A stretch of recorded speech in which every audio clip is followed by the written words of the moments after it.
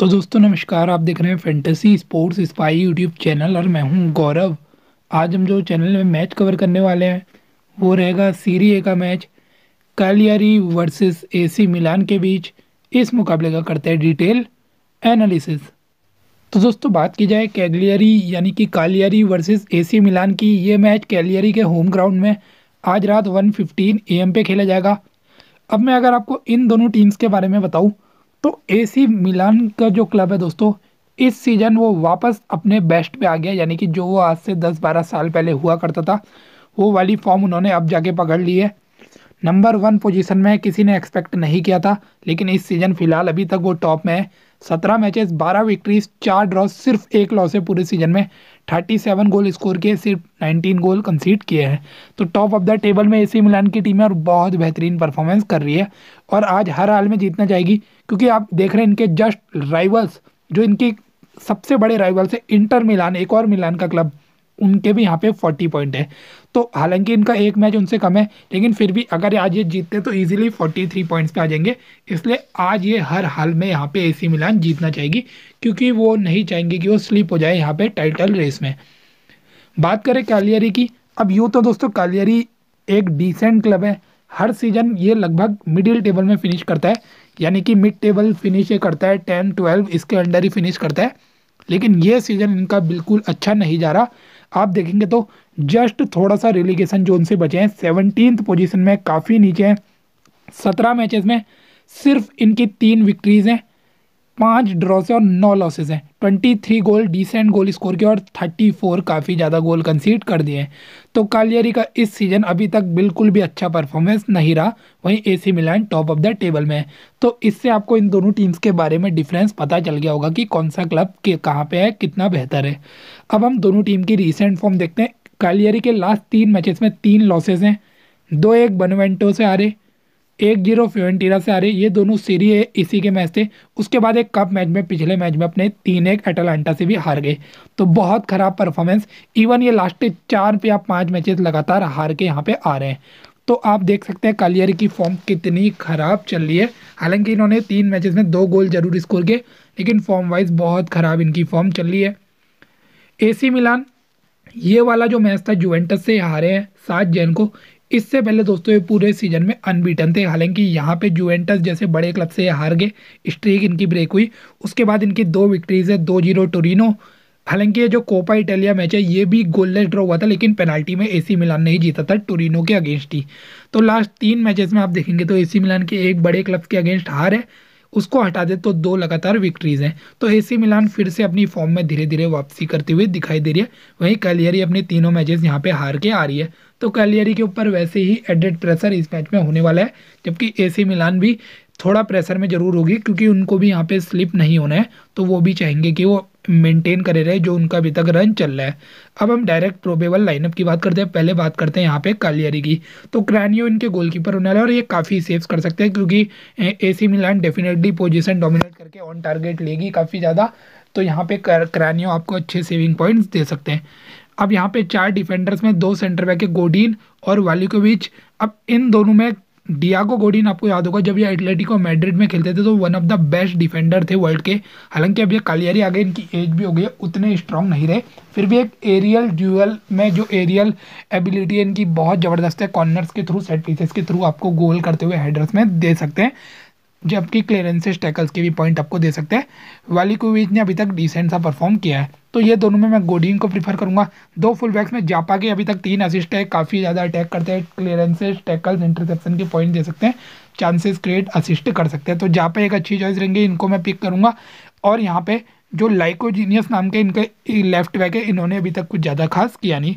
तो इनके जो डिफेंडर्स को मैं यहाँ पे चूज़ करूँगा, वो जापा और गोडीन होंगे। मेरे हिसाब से इन दोनों में से आपके किसी एक के साथ ज़रूर जाना चाहिए।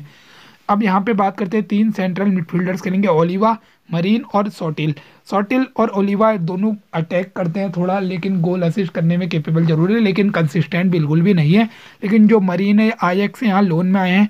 और मरीन दोस्तों, काफ़ी टैकल्स इंटरसेप्शन के आपको पॉइंट दे सकते हैं। इवन काफ़ी चांसेस क्रिएट भी करते हैं। हालाँकि इन तीनों में से ही मैं किसी को इतना रिकमेंड उतना ज़्यादा एसएल में डायरेक्ट नहीं करूँगा। फिर भी आप चाहें तो अगर आपको लगता है थोड़ा कैलियरी डिफेंसिव खेलेगी तो मरीन के साथ आप जा सकते हैं, नहीं तो सोटिल और लीवा भी डिसेंट चॉइस हो सकते हैं।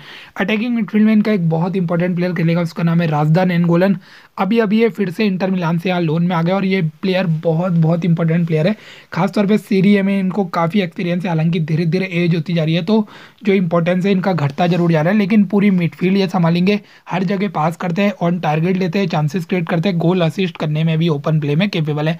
तो गोलन को भी डेफिनेटली रिकमेंड करूँगा। फॉरवर्ड टू में जाओ पेड्रो और जो की सिमियोनी खेलेंगे। पहले जाओ पेड्रो के बारे में बता तो इनके टॉप स्कोरर है और दस गोल इस सीज़न मार चुके हैं। इनके पेनल्टी टेकर भी है। हालाँकि लास्ट मैच में ज़रूर पेनल्टी मिस हुई थी, फिर भी इनके one of the main player और मेरे हिसाब से एक मस्ट पिक प्लेयर आपकी टीम में जाओ पेड्रो डेफिनेटली होना चाहिए। अब यहाँ पे आप देख रहे हैं कालियरी ने पूरे सीज़न तेईस गोल मारे, जिसमें से दस गोल अकेले जाओ पेड्रो ने मारे और बाकी पाँच गोल मारे जियोविंग की सिमियोनी ने। अब ये जियोवेनी सिमियोनी नाम का जो प्लेयर है दोस्तों, ये एटलेटिको मेड्रिड के जो मैनेजर डियागो सिमियोनी उनके बेटे हैं। और जोवेनी सिमियोनी इस टीम के टेलिसमैन थे। लास्ट सीज़न तक हालाँकि इस सीज़न में फॉर्म ने थोड़ा डिप ज़रूर मारा, फिर भी अभी तक पाँच गोल ये स्कोर कर चुके हैं। तो मेरे हिसाब से जाओ पैडरो को आपको डेफिनेटली पिक करना है और आप नैनगोलन और सिमियोनी में से किसी एक को ज़रूर अपनी टीम में पिक कीजिए। हो सकता है आप तीनों को ही पिक कर लीजिए, फिर भी जाओ पेड्रो के बाद में नैनगुलन या सिमियोनी में आपको टॉसअप ज़रूर करना होगा। मैं यहाँ पे शायद नैनगुलन के साथ जा सकता हूँ, क्योंकि वो टैकल्स वगैरह के भी पॉइंट दे सकते हैं, लेकिन सिमियोनी भी दोस्तों गोल असिस्ट के काफ़ी पॉइंट आपको प्रोवाइड कर सकते हैं। तो ये कुछ कालियारी की इलेवन थी, और ये जो कुछ येल्लो से हाईलाइट किए हैं, ये इनके मोस्ट इंपॉर्टेंट प्लेयर रहने वाले हैं। यहाँ पे मैं गोलकीपर को भी हाईलाइट येल्लो से करना भूल गया, ये भी काफ़ी इंपॉर्टेंट रहने वाले हैं। तो ये कैलियरी के बारे में इन्फो थी। अब बात करते हैं अपोनेंट मिलान की। उससे पहले आप मेरे टेलीग्राम चैनल से नहीं जुड़े तो काफ़ी कुछ आप मिस कर रहे हैं। डिस्क्रिप्शन में आपको लिंक मिलेगा, नहीं तो आप टेलीग्राम में at the rate fantasy sports spy search मारेंगे। टू पॉइंट फाइव के से ज़्यादा सबसे वाला चैनल आपको मिलेगा, यहाँ से आपको जुड़ जाना है। लाइनअप आने के बाद इस मैच की आठ जीएल और एक एसएल टीम में यही पोस्ट करने वाला हूँ। साथ ही हर आईएसएल मैच की आठ जीएल टीम और एक एसएल टीम में यही टेलीग्राम में पोस्ट करता हूँ। काफ़ी अच्छी हमारी जीएल टीम्स वर्क भी कर रही है। तो डिस्क्रिप्शन में लिंक है टेलीग्राम से आप ज़रूर जुड़ जाइए। बात करते हैं एसी मिलान की। तो इस मैच से पहले इनको दो तीन बड़े प्लेयर्स इनके अनअवेलेबल हैं। थोड़ा झटका ज़रूर लगा है जिसमें कि इनके सुपर स्टार हाकन चनालागलू आंटे रेबिच और थियो हर्नांडिस तीनों इनके मेन प्लेयर को कोविड हुआ ये आज के मैच में अनअवेलेबल है। एक और स्ट्राइकर जो इन फॉर्म है राफेल लियाओ ये भी सस्पेंडेड है। इनको पिछले मैच में रेड कार्ड मिला था। तो ये चार बड़े प्लेयर्स के बिना इसी मिलान खेलेगी। हालाँकि फिर भी फेवरेट्स हैं। उनके पास बहुत अच्छे अच्छे और भी प्लेयर्स अवेलेबल हैं। तो अब एसी मिलान की प्रोबेबल लाइनअप देखते हैं। डोनारामा इनके गोलकीपर होने वाले और मेरे हिसाब से सीरी ए के one of the best goalkeeper है। हालाँकि शायद इस मैच में इनसे ज़्यादा सेल्स अपोनेंट का गोलकीपर करे, क्योंकि कालियरी शायद उतना अटैक ना करेगी, वो काउंटर अटैक में खेल सकती है। तो फिर भी एक डिसेंट चॉइस रहने वाले हैं। चार डिफेंडर्स में आप मेन लेफ़्ट बैक थी और नंडिस जो कि एक तरीके से आप विंगर ही मानिए, चार गोल ऑलरेडी सीज़न कर चुके हैं लेफ़्ट बैक पोजीशन से। इनके बिना यहाँ पे डियागो डालो इनकी पोजीशन में खेलेंगे एज अ लेफ़्ट बैक जो कि एक राइट बैक है वैसे मैनचेस्टर यूनाइटेड से लोन में एक डिसेंट प्लेयर है। इनके साथ राइट बैक पोजीशन में कलाबिया खेलेंगे, जो कि goal assist chances create tackles interception हर चीज़ के आपको पॉइंट दे सकते हैं और मस्ट वीक रहने वाले हैं। तो इन दोनों फुल बैक्स में मैं कलाबिया को पहले प्रीफर करूँगा, फिर डैलो का नंबर है।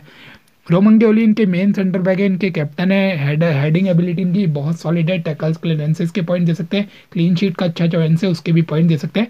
रोमन गेवली को भी मैं अपनी टीम में डेफिनेटली लूँगा। साइमन काजेर भी एक बहुत एक्सपीरियंस डिफेंडर है, ये भी tackles clearances interception heading ability हर चीज़ में अच्छे हैं और काफ़ी पॉइंट आपको दे सकते हैं। तो इनके डिफेंडर्स में कलाब्रिया और रोमन गोली मस्ट भी रहेंगे फिर आप डेलो और कजेर को भी अपनी टीम में शामिल कर सकते हैं। सैंड्रो टोनाली एक प्रॉपर होल्डिंग मिडफील्डर है। ज़्यादा अटैक करते नहीं है टैकल्स वगैरह के पॉइंट दे सकते हैं। लेकिन फ्रैंक कैसिया एक बहुत अच्छे बॉक्स टू बॉक्स प्लेयर है, जो कि टैकल्स इंटरसेप्शन क्लेडेंसेस के पॉइंट डिफेंसिव पॉइंट तो देंगे। ऑफेंसिव पॉइंट भी काफ़ी ज़्यादा देते हैं, जिसमें कि बॉक्स टू बॉक्स आके गोल असिस्ट का भी देखते हैं।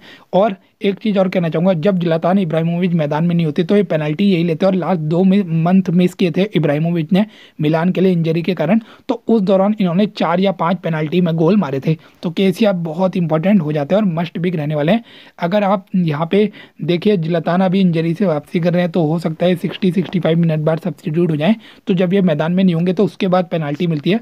तो हंड्रेड परसेंट श्योर हूँ कि के वो पेनल्टी लेंगे। तो फ्रैंक के बहुत बहुत इंपॉर्टेंट रहने वाले हैं। दो विंगर्स यहाँ पे खेलेंगे सामू कस्टेगो और हाउगे अब होगे इनके नए प्लेयर हैं। अभी तक स्टेट्स उतने अच्छे नहीं है, कुछ ज़्यादा खास कह रही है, लेकिन इनका मैंने गेम ज़रूर देखा है। अच्छे रन्स बनाते हैं। बहुत अच्छे अच्छे ऐसे करके कट इन करते हैं। तो ये फ्यूचर में बहुत बड़ा सक्सेस होने वाले हैं। आप इनको पंच पिक लेकर अपनी टीम में ट्राई ज़रूर कर सकते हैं। फिर भी मैं इन पे डायरेक्ट एसएल में इन पे भरोसा नहीं करूँगा। एक जी एल ये ज़रूर होने वाले। सेम ऐसे ही हाल कस्टी एगो का भी है।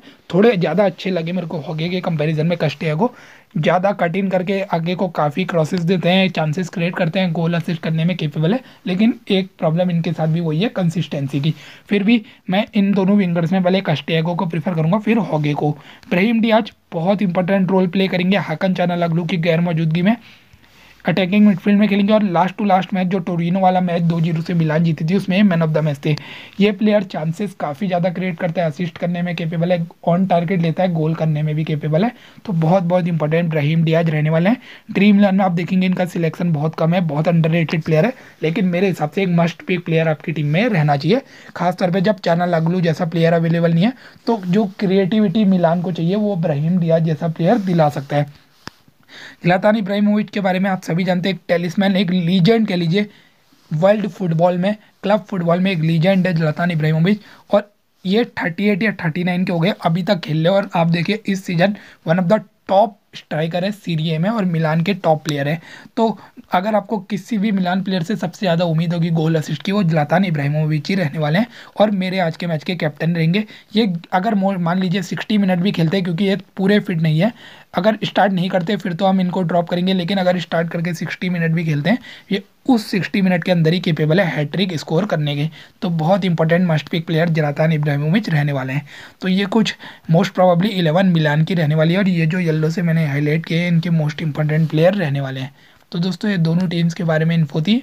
अब आ जाते हैं प्रिडिक्शन में। प्रिडिक्ट करना मैच इजी है तो फ़िलहाल मेरी प्रिडिक्शन टू वन है, लेकिन ये टू ज़ीरो मिलान भी हो सकता है। हो सकता है मिलान अच्छा क्लीन शीट से जीत सकती है। लेकिन मैं यहाँ बेल, मुझे लग रहा है एक गोल कालियारी भी अपने घर में स्कोर कर सकती है मिलान के अगेंस्ट तो ये एसएल में भी प्रिडिक्शन है, लेकिन जीएल में हमें zero zero draw one zero Milan one zero Cagliari क्योंकि कुछ भी रिज़ल्ट पॉसिबल है टू टू ड्रॉ ऐसे करके इस मैच की अलग अलग कॉम्बिनेशन की आठ जीएल और एक एसएल टीम और हर एसएल मैच की आठ जीएल और एक एसएल टीम आपको मिलती है हमारे टेलीग्राम चैनल में, जिसका लिंक डिस्क्रिप्शन में नहीं तो आप टेलीग्राम में at the rate fantasy sports spy search मारेंगे टू पॉइंट फाइव के से ज़्यादा सब सारा चैनल आपको मिलेगा। यहाँ से आपको जुड़ जाना है। लाइन अप आने के बाद इस मैच की आठ जीएल और एक एस टीम में यही पोस्ट करने वाला हूँ। साथ ही हर आई मैच की आठ जीएल और एक एस टीम भी मैं यही पोस्ट करता हूँ। तो डिस्क्रिप्शन में टेलीग्राम का लिंक है, ज़रूर जुड़ जाइए। तो दोस्तों, ये था पूरा वीडियो दोनों टीम्स के बारे में डिटेल इन्फो उम्मीद करता हूँ आपको वीडियो पसंद आया होगा। तो मिलते हैं एक और वीडियो के साथ। जय हिंद।